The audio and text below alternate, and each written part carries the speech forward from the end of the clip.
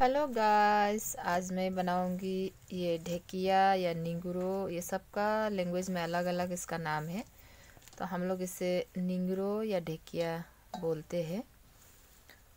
और ये बहुत ही हेल्दी सब्ज़ी है, क्योंकि इसमें कोई मेडिसिन लगा के उगाता नहीं है, ये अपना से जंगल में होता है, देखिए।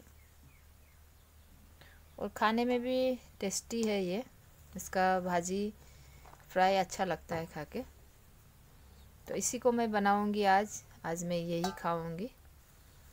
तो इसको मैं साफ़ कर लेती हूँ। देखिए, इस तरीके से साफ़ किया है। जो इसका हार्ड पार्ट है, उसे मैंने छोड़ दिया है। जो नरम है, उसे मैंने काट ली हूँ, देखिए। अच्छे से साफ़ कर लिया है। तो इसी को मैं बनाऊँगी, साथ में एक आलू भी डालूँगी। तो आप लोग पूरे वीडियो देखिएगा, कैसे बनाती हूँ। सभी को आता है ये बनाने के लिए बट मैं अपना तरीका से बनाऊँगी सिंपल तरीका से। इसमें बिना मसाले से ये बनता है अच्छा लगता है। तो आप लोग वीडियो पूरे देखिएगा।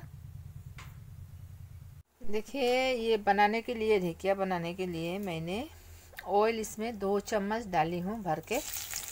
तो अभी मैंने डाल दिया लहसुन, थोड़ी कुटी हुई छः सात कलिया। ये है पाँच फूरन ये है हरी मिर्च, पाँच छः और ये है प्याज। दो प्याज डाली हूँ, थोड़ी प्याज ज़्यादा अच्छा लगता है इसमें। और बाकी मसाला इसमें जाएगी नहीं।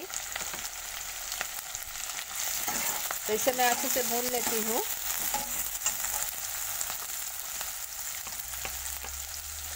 नमक स्वाद अनुसार।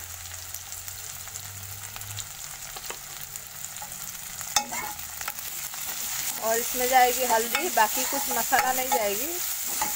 बिना मसाला में ये बनता है, बहुत ही बढ़िया बनता है। और हेल्दी है ये रेसिपी क्योंकि इसमें कोई मेडिसिन नहीं होता है, ये जंगल में उगता है।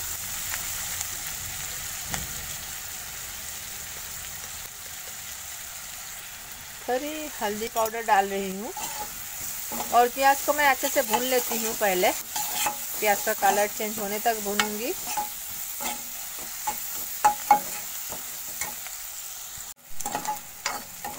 देखिए, प्याज भून चुका है।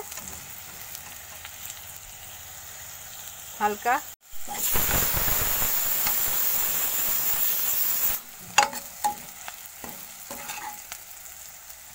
प्याज गल चुका है भून के। अब मैं इसमें इस साग को डालूँगी। और आप लोग इसे क्या नाम से बोलते हो? इसे हम लोग ढेकिया या निंगरो बोलते हैं। तो आप लोग भी बताइएगा कमेंट्स कर कमेंट्स में क्या बोलते हो।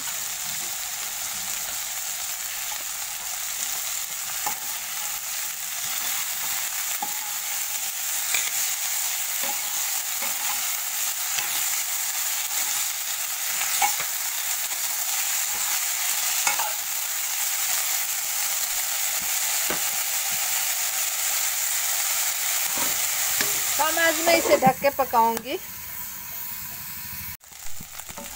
देखिए गैस कितना बढ़िया से गल चुका है और खाने में भी बहुत ही स्वादिष्ट है। ये बन के रेडी है। मैंने आप लोग को बीच में दिखाया नहीं डायरेक्ट मैंने सात मिनट तक इसे बनाई हूँ। सात आठ मिनट में ये बन जाती है। देखिए कितना बढ़िया बना है। और ये गरम गरम चावल का साग बहुत ही स्वादिष्ट होता है। आप लोग को कैसा लगा ये रेसिपी अच्छा लगा तो कमेंट्स कीजिएगा। आज का वीडियो यही एंड करती हूँ। Bye bye